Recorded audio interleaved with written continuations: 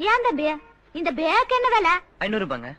ஐயோ சாமி ஐநூறு ரூபாயில நெம்ப ஜாஸ்தி குறைச்ச ஒரு விலைய சொல்லுங்க. வேணா ஒரு ஐம்பது ரூபா குறைச்சிக்கிறேன். என்னங்க இது மாட்டு தோல் தானே ஆமாங்க. எங்க ஊர்ல எல்லாம் ஐநூறு ரூபாய்க்கு ஒரு மாடே வாங்கி போடல.